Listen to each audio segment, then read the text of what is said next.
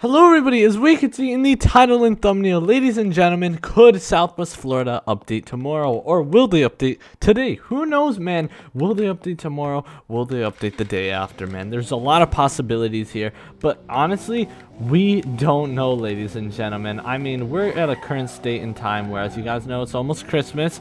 I hope everyone's having a good Christmas holiday break. I'm pretty sure a lot of people are on break who's in school now. But yeah, aside from that, ladies and gentlemen, we are now waiting for the Southwest Florida Christmas update. We have no idea when it's going to be, and it could possibly happen today, could happen tomorrow, could happen the day after, maybe later this week, maybe they don't have an update. Who knows? A lot of possibilities here. But let me know what you guys think in the comments. Like I said, there's tons of possibilities. There's also tons of possibilities for things that will be coming in the update. I could assure we're probably going to get snow. For example, like last year, we did get snow in the Christmas update, which was actually the first time we ever saw snow within Southwest Florida, and I think that was an amazing addition. So hopefully in the Christmas update, or if they have a Christmas update, we got a bunch of cool, new, good additions. And yeah, I'm really excited to see this new update, but who knows when's when it's really going to come out. I, will be honest with you, I have no idea. So yeah, let me know what you guys think. If you guys want to get more information on this update,